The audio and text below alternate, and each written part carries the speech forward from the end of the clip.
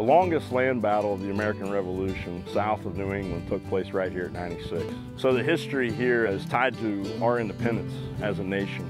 This is a unit of the National Park Service as this site is dedicated to the Revolutionary War. One thing I love about 96 is that it's accessible for every visitor. You can see this entire site by traversing a one mile paved walking trail.